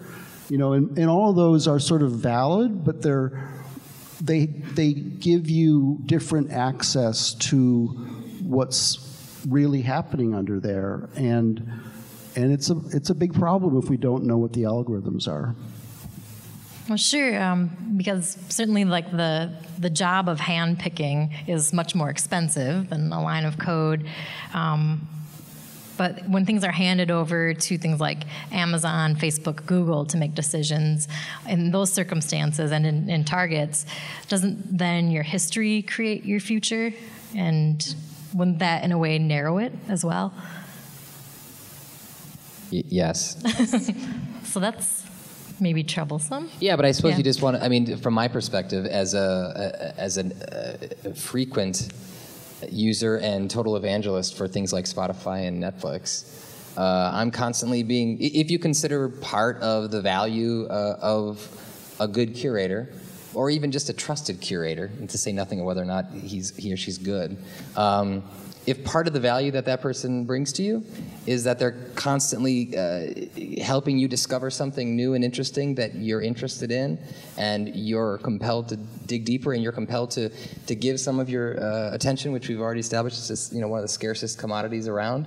Uh, if, if that discovery value is actually a part of the equation, then probably the best situation is to balance, you know, go go with people and go with a machine and do do a little bit of both. And and hopefully the machine. I mean, I'll tell you, Spotify's constantly giving me all kinds of interesting things that I didn't know about that I like. They keep giving me white stripes. I don't know why. Just because Though the- the- haven't the- liked it yet. Yeah, well, the, the corollary though is that you're right. I think that uh, you know, and this is where I think in a in a in a present and future where, uh, and I'm, I'm confident that algorithmic curation is only just beginning and will continue to drive content consumption across the board. Uh, I think the danger there, to Steve's point, is if you would rely exclusively on that. Then, in a way, you're probably no more informed than if you only watch mainstream media and consume, you know, mainstream traditional channels. That's, I think, the interesting tension for me is that this trust, maybe where it can come from an influencer or an authority, uh, what happens when it comes from a consumer based good? And how does that change the, sort of the impact of, of what, you, what, you, what culture you take in? Uh, kind of like follow up to Steve's uh, remark. Um, I, I, I, think you know algorithms are codes by themselves. Uh, they tend to push ours, uh, push us towards uh, safe choices or you know a very conservative mindset. So uh, you know, I love automation, as in. Uh, in, in, in some form, as in uh, it can be an assistant to our agenda for better humanity. And as long as they are in that role and you know the risk taker is a a well curated human mind. Uh, I believe you know uh, it just it just becomes more accelerated process uh, rather than relying on just code itself. It's just lazy way out. I have, I have like a love hate thing for algorithms, but I think like yes, like code curates constantly. Um, I think I liked your example of Netflix because it's not what I thought of first. Like when I think of algorithms or like code curating, I think like my Facebook feed is selected for me. Um, and it's like sometimes anti-user like if i were to write the word today then that's not going to show up in anybody's feed until tomorrow just because i wrote today and facebook wants me to pay for it. So i think in that way it's sort of curating but it's like not curate. It's like doing the opposite. It should be showing me but it's not. And i think that's where it's like humans are win every time. But then i think about like netflix where I've spent like, you know, hours rating everything I really like so that it will show me stuff I like. And it's pretty spot on. I mean, it, will be like, you're going to love this, you're going to give it five stars. And like, you're right. I did. I did love it. Why did I wait two years of you showing me that movie image every day before I picked it? So it's like, I think code curates, absolutely. Um, but is it always good at it? No.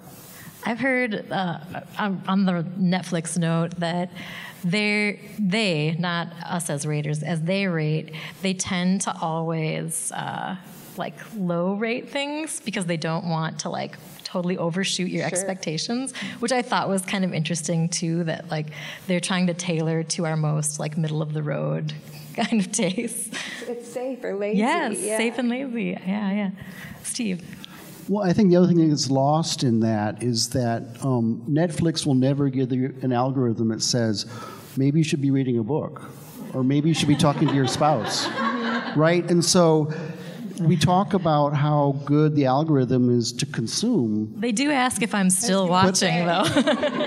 when you when you watch when you're too much binge watching, they ask that. But my, my point is that it, it creates a context that was just assumed, so that we're we're the fish in the aquarium and we don't underst- we don't know that this water is going around. And I think that that's, I mean, it's just something to one can be more or less aware of, but they're certainly not going to help you. I don't mean to be contrary, but I'm just hopeful. I actually think that. Go ahead.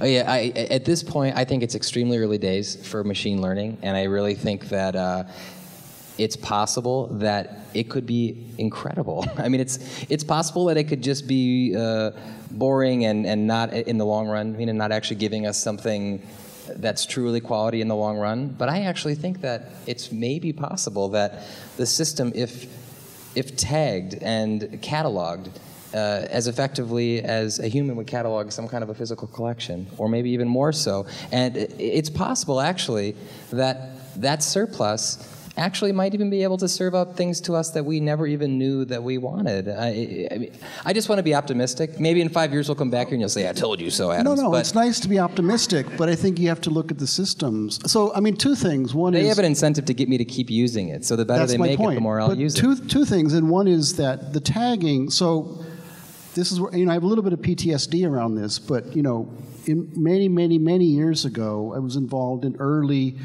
systems of trying to get library systems which use Z39.50 and archive systems and museum management systems to talk to each other. And the idea was SGML and that you can create a DTD that sort of allows you to tag everything. And it just becomes an impossible task. And so the, the, it's actually the artificial learning and an open natural language learning that's going to go to figure things out. And I agree with you. I think there's lots of possibility there on the technical side. But then you have to look at who owns it. The internet is not an open system. Their, their goal is not to make your life what it could be. It's get to sell you things. Sure. And how do you get outside of that? The only way you can get outside of that is if there is really public space that doesn't have a backdoor to the FBI, that doesn't have physical taps on transatlantic tables, that doesn't have everything that it does have. And so it, the optimism of the algorithm to me is warranted. The scare, the scariness of the ownership of public resources is pay attention to those shrink wraps. Fair. Thank you. I, I, then I agree with you about you know the internet being well. Internet makes us readable and not you know doesn't give that authority to execute something.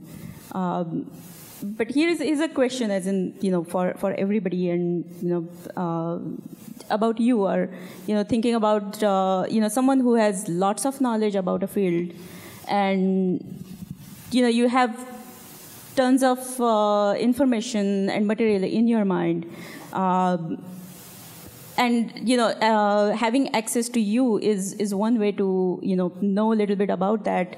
Um, but you know, I, I think uh, you know thinking of succession, you know, of a community of a person, you know, it, I'm thinking in terms of knowledge base then algorithms and codes can be a tool as in i totally agree that you know we are not using it for that purpose but they have ability or you know power to to do that. And collaboration is one way as in you know going back to you know we are using tools that were not meant uh, for artists and we are still making art out of it or we are still curating uh, you know visual content in it.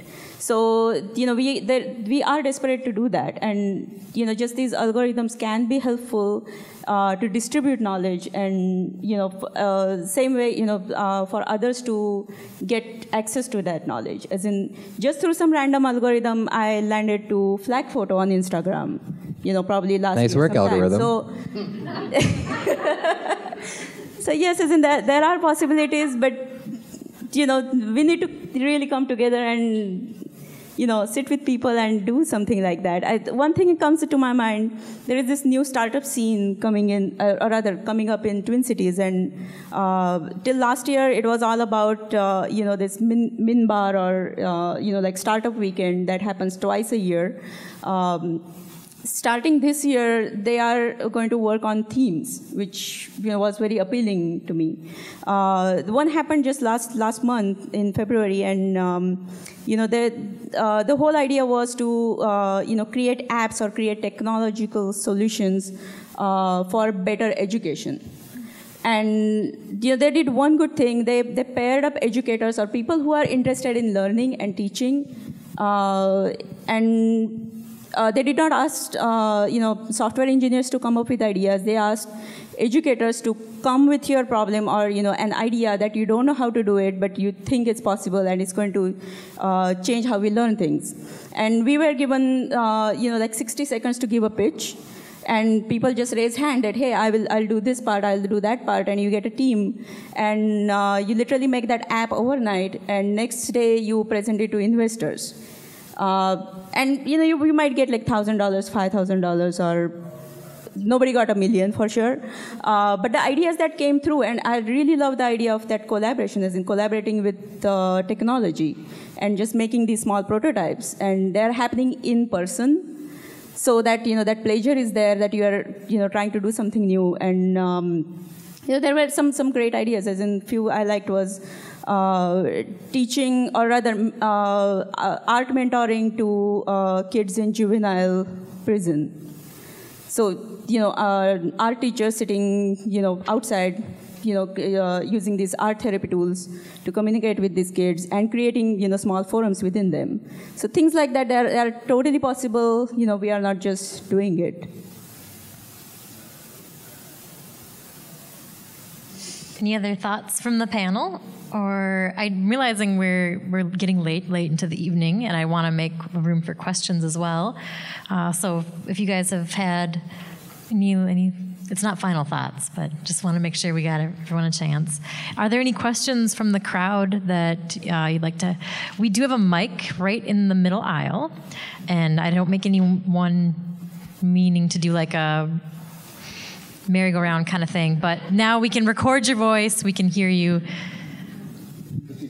Hi, uh, thank you all so much. I, am really curious, and I've been frustrated that it seems like what's lost in this is the role of the artist, the producer of the data. And I'm curious your reflections on how this might change the expectations for that person. Um, in addition to making work, is it the artist's job to make sure it's hashtagged appropriately? Uh, I have a lot of other questions about that, but I'm, i guess just reflections on how does this impact the role um, of the maker. My feedback, I don't know if it's an opinion, but my feedback about what works um, or your best chance at being represented if you're an artist uploading content is to hashtag it, watermark it, do anything you can to keep it from being stolen. And so many people don't even want to upload high res images because they will be stolen and reused and misused. Um, I think that's what's different about digital curating than like physical space curating is that artists are very well represented by you know an expert curator in a gallery. You know who made the image. Online you may never know who made the image. So it's it's totally different. So are you saying you're suggesting the artist should create artificial scarcity kind of, or at least just like mark mark what you can. You know, so much gets lost almost immediately, or can be changed or cropped. You, you know, you even put your name on the bottom that can be cropped out. So, does that sort of answer your question? I, I mean, I want to respond that like so.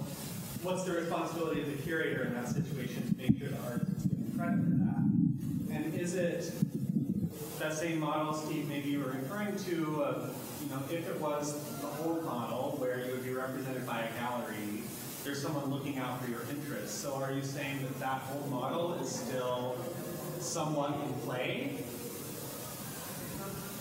Well, uh, no, well, I mean, it is somewhat in play. It's, it's, it's, you know, in terms of market, it's, it's probably, well, I, it is still somewhat in play. I mean, part of what I would say, and this is what to me the value of an institution is that it has a responsibility to care for your work, to retain it. And one of the things I said when I started Gallery 9 to artists was you shouldn't have to be figuring out how to run your own server to be able to present your work because that the artists were the first ones figuring that out and that should be the role of the walker and our initial thought was that we would we would instantiate a new server for every single artist commission that we would do which is to say, I, I think that, and one of the things I want to say to earlier, I think authoring or authority, the reason it's important is because with great authority becomes great responsibility.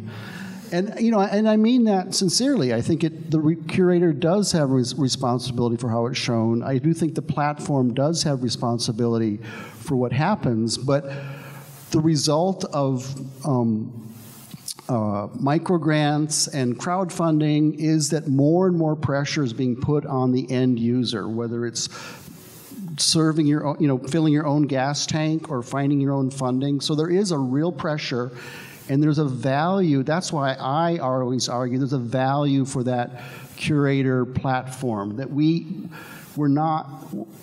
I'm not just you know this vampire, but you you have to provide a real service in order to be of use? I've got one short answer. Uh, that's sort of a, a continuation of something I said previously. I think that uh, every creator uh, would benefit from becoming conversant in the tools and making it a point to be digitally literate in addition to making the work.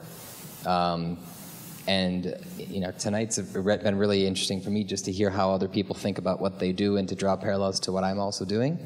Um, I think that the artist, the, maker of any kind, benefits from saying, how do I plug what I'm doing into into the machine? How do I actually get my work out there and proactively take my fate into my own hands? So I, I think personally, the photographers that I'm most inspired by are those people that make incredible images and produce really interesting bodies of work and are also simultaneously extremely savvy with, with how the web works and figure out how to put it in front of me and everybody else.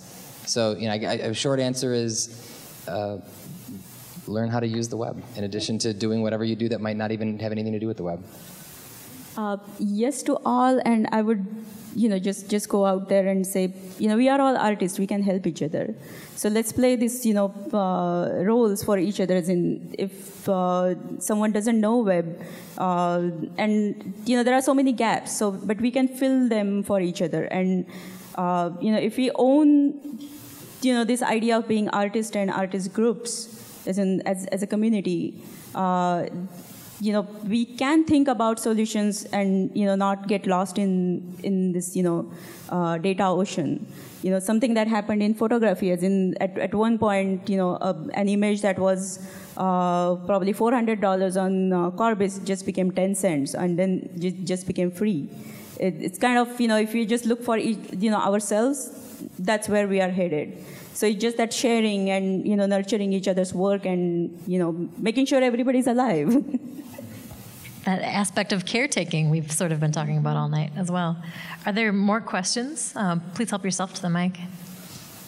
Hi. So um, I'd like to start out by saying that I do come from like an art education background, specifically focusing in digital environments and coded environments, as well as being a producer of physical and digital work. Um, and I wanted to go back to this conversation of authority versus versus authorization. Um, personally, I see that there's like a very clear difference between being an authority and a curator, and being a consumer and a consumer slash producer. Um, producing an intentional space versus consuming for consuming sake and producing for consuming sake um, kind of challenges the validity of what the conversation is being brought up, and, and so I was thinking. Um, it, it, does bring up a, a, dilemma of institutional versus individual expression, um, but I wanted to kind of direct a question towards Paige um, about a user driven platform and how you said that Tumblr is user, user driven, but I wanted to challenge that because it's not open source. It's not user driven, really. I mean, the, the, the content is mm-hmm. pushed along by users, mm-hmm. obviously. Um, but really the only choice that you have is choosing your esthetic mm-hmm. and you don't really have much of a it has less of an impact to me than a space or platform that's intentionally created or coded to sort of house ideas. So um, do you personally see a difference between general consumer and production in that way? And an intentionally produced and curated coded space Ooh, I mean, I think, I guess I think of it as user driven because Tumblr isn't pushing content, and you can change algorithms, you can choose, um, you can create your own template to use it, you can select what content you're shown, you can do searches and control the algorithms that you see. But you're right, like, um, that's not like a true user driven platform.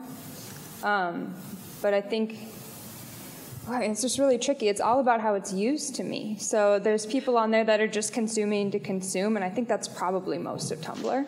Um, and then there's other people that are never actually checking a feed and only uploading content.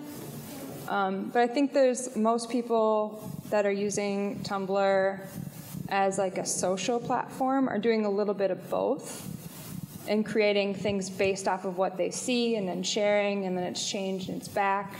Um, if you don't mind if I add on to that really sure. quick. Um, the ways you said you can create your own algorithms. I don't think that's true. I guess you- they they right. make the choices for you, how you can upload, the way that you can type it, and obviously you can change how it looks.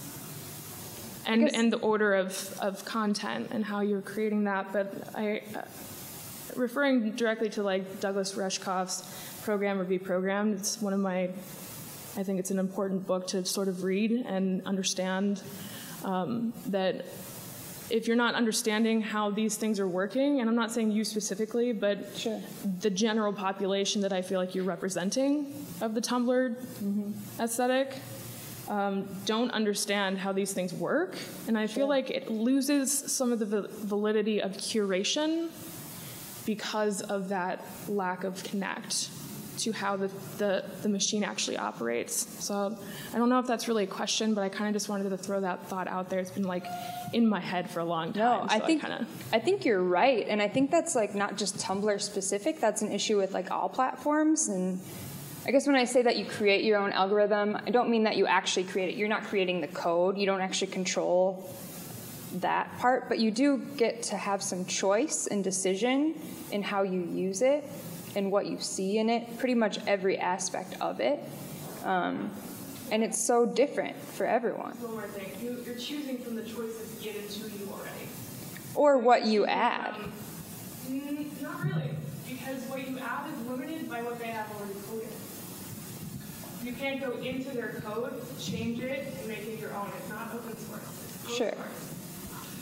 But you can code your own site within Tumblr. HTML and CSS is not the. Sure. Structural, the structural, um, the, the structure of it. really. Sure, but you're still creating within the platform. So that's how I look at it. Can I just add one? I'm basically I agree with you that that's absolutely true. That you you don't have the, you don't control the means of production, and so there are these choices that are being made for you, and we don't necessarily understand it. But the the, the tension is that what people want and is so wonderful is the size of the network.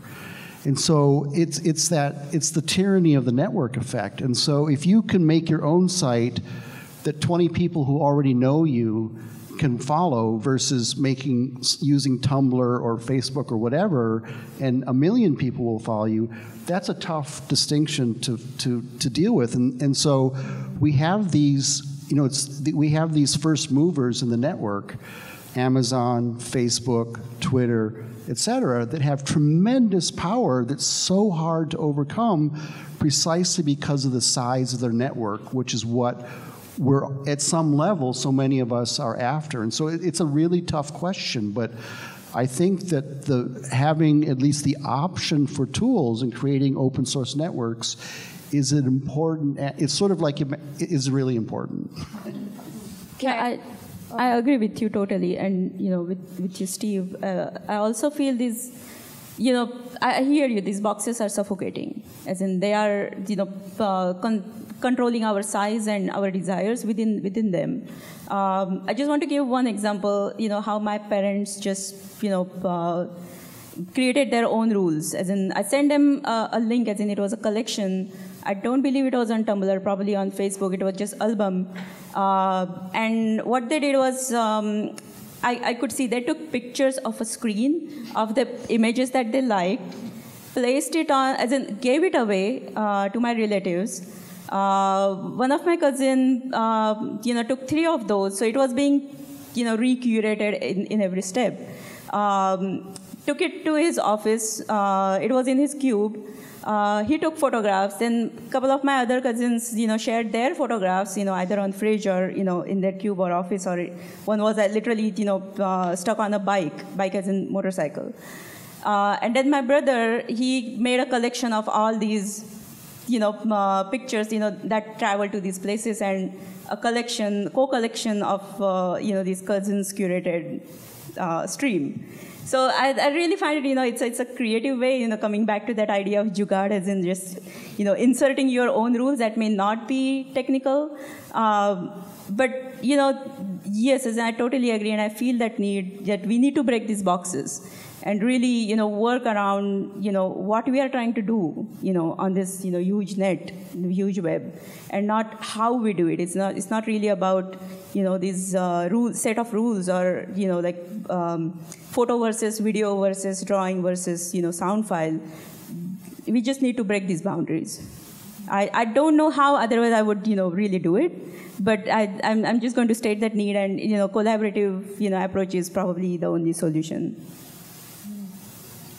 I'm curious to see how it'll change as the generation that's growing up right now. Like, are the people that are in their teens and 20 somethings, are they going to understand like more than we do? You know, are they going to be able to like, I think, like was Steve was saying earlier about the corporations own these platforms. Like, ultimately, are we using things that are just tools to sell to us? Like, yes. Um, and so are like digital natives going to be able to just embrace that? Or are they going to fight against it more? You know i don't know. But right now i think what's happening is that the users are just using the tools. And so that's how i embrace you know the, the platform. And like it's not totally open. It's not totally mine. Um, but i make it mine. So that's how i I look at it. And what I like about Tumblr, or you know, it's not even I guess what I have the most experience with, but to me it seems like of all the platforms that I've used, the one I'm being sold to the least. And it's changed a little bit. Advertising is actually becoming huge. They just added you can shop right on Tumblr, so I'm sure even in like six months I won't feel that way. Um, but that's how I felt about it. And, and I do think creative use is one of those, can be an anarchic moment. It may not change the system, but it, it you know, I think I'm not. I, I think it's open. You know, that's what we all try and do in any system: is how do we find ways to navigate it and to sort of upset it where we want to upset it. So I, you know, I think that's definitely true. But so it's, you know, I'm optimistic. Good. I want to be too. Let's be optimistic. Any, any other questions? Hi, thank you all for being here. I want to ask um, you talked about how these digital spaces are sites where you've used to kind of express your personal views or opinions or likes, um, how you've used these spaces to cultivate ideas or communities, and at other times to promote books or artists. Um, I want to ask how do you, if you do, promote yourself or engage? Um, engage users and how do you define success? Thinking back to this idea of the platform versus institution, the platform being more um, flexible. Is it kind of a self satisfaction which kind of draws others in? Or do you feel like you have to um, invest a lot into it, I guess? Uh, I guess from my perspective, uh, how do I engage the audience? I just talk to the audience. I just I, I, write in the first person. I say it's Andy. I uh, you know like uh, if I'm and there are any number of instances. Because you have a question, you want to say something? Well, just I guess m- maybe to add clarity or focus. Yeah. Um, as you're starting this site and sort of you know just putting out there your likes or thoughts, how um, how did you gain an audience? How did that kind of how did that begin? Obviously, maybe Tumblr friends see that you're on there, et cetera. They kind of join in. The Walker has a name, a reputation, so maybe others are kind of funneling in through that that realm. I'm thinking maybe of a of a beginning site where you're trying to curate or host ideas. How much uh, promotion do you do, or how do you kind of um, gain an audience? Okay. Maybe. Yeah, that, that, yeah. Well, okay. So just from my perspective, fortunately at this point I don't have to hustle it as hard to get attention to the project, but um, sometimes I talk about I think about FlakPhoto as an iceberg, and like the website or the social media channels, the Instagram, Twitter, whatever. They're just the tip, and like the great majority of what is down beneath the surface is just tons and tons and tons of correspondence. Mm-hmm. Uh, for me personally, the reward is connecting with fellow creatives, meeting photographers I admire, making things and, and co creating and collaborating with people from around the world. Um, the project actually, for me, has its origins in a like a, a, like a Google group dating back to like 2003. So it was actually like kind of social media before the term was coined. Um, and uh, a big part of what I do is uh, I ask the, the public web to be a part of the things that I'm doing. And uh, I also really do enjoy the promotional aspect of the project. Not other other people don't don't do that, but I actually have always uh, found great pleasure in doing that part of it. So in the beginning, it was just lots and lots of lots of hustling. I'm Andy. I'm doing this thing. Can we do something together? And fortunately, at this point. Um, more people come to me and, and want to be involved in something than, but you know, it's just a result of lots and lots of actual participation in the community. Yeah, as in, I, I totally agree with uh, you know Andy's answer, and actually, I have the exact same question. As in, I'm uh, as in thinking of audience. As in, audience doesn't come to me. I have to go to the audience, and uh, you know, going back when I was using digital medium as as, in, as, a, as a photojournalist, uh, I was taking digital photographs, but you know, I, I found myself uh, showing them offline when I was traveling to different continents, you know, just to, you know, create that relationship of, you know, who I am, where I come from, what I do. Um, so I kind of, you know, take that same practice, you know, here as in, again, like, you know, this between offline brain and online brain. Uh, I'm catering more to my offline needs. Uh, you know, they are uh, but uh, you know the material comes from these digital medias and I think it's again there is like inbuilt question of quantitative versus qualitative. Um, and I'm I'm just going to beat up on myself right now and uh, just stick to qualitative audience. So you know it may be a smaller. Um, yes, and I'm I'm somewhere in. Uh, I, I feel I'm I'm in that. Uh, you know, first step or second step, uh, I don't really look up to like you know having tons of followers or you know those qualitative uh, quantitative measures. Uh, so yes i'm i'm still on that uh, question stage. Yeah help yourself. I notice we're losing people, so but I did want to just take the opportunity to say that I come from an arts background in that I'm an arts administrator and an arts marketer. And I've always felt like a consumer of the arts, and I never really felt like I had a place on the artistic side.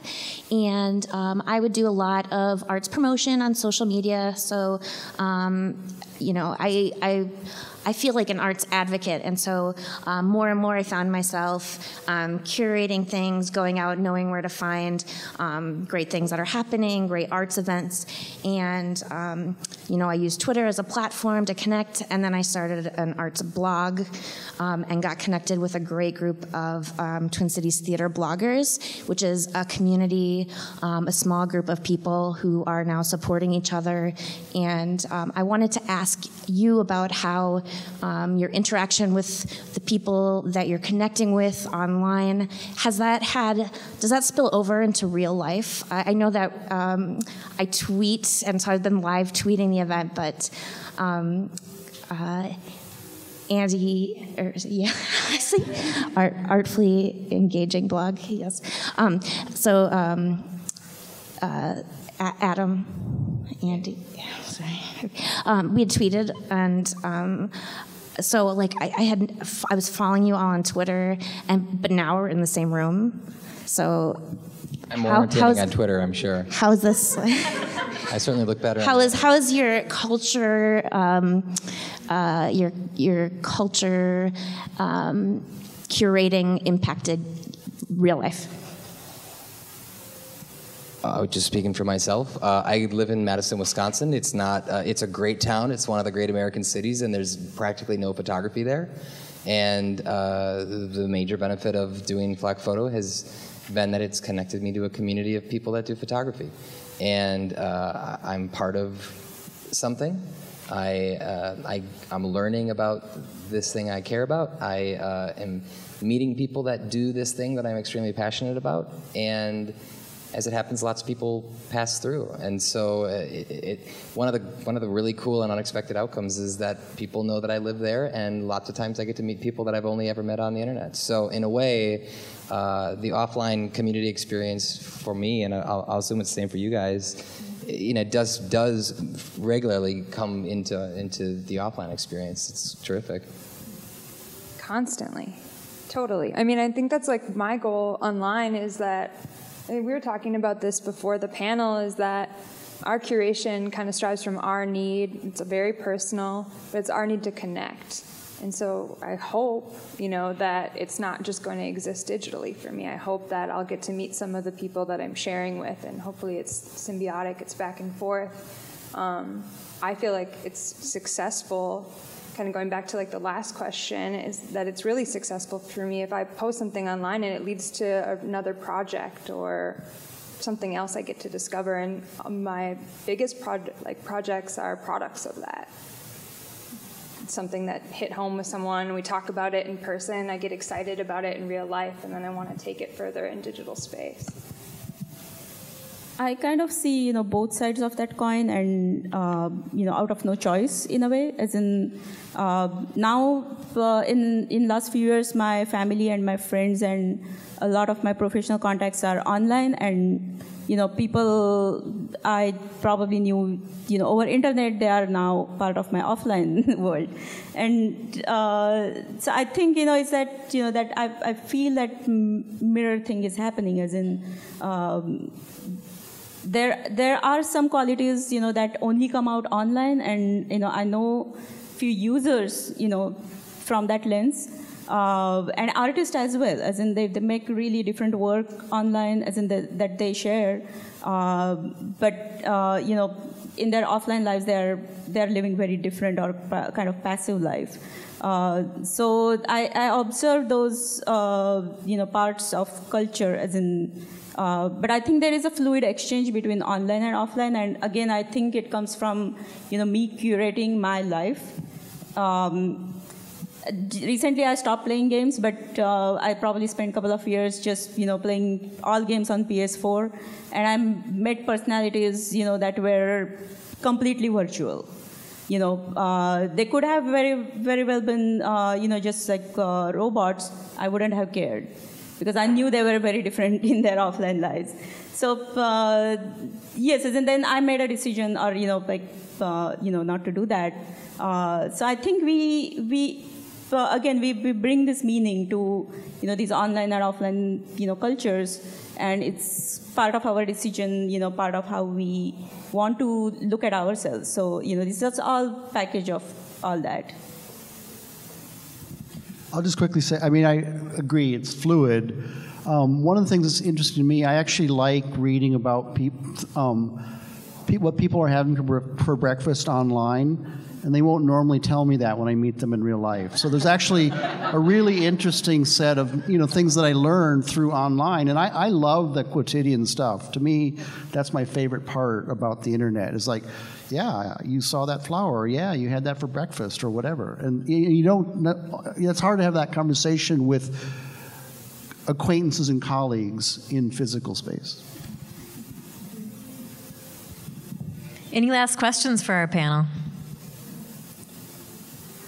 All right, with that, um, thanks so much for spending this evening with us, you guys. We went an entire Thanks. two hours. Uh, I really appreciate it. We'd love to um, encourage you to grab a survey as you leave and tell us what you think about this evening's program, how much you loved it, and um, how much you loved our panelists. I didn't give you any bias at all. Thanks so much for coming. Enjoy your evenings. Thank you. Thank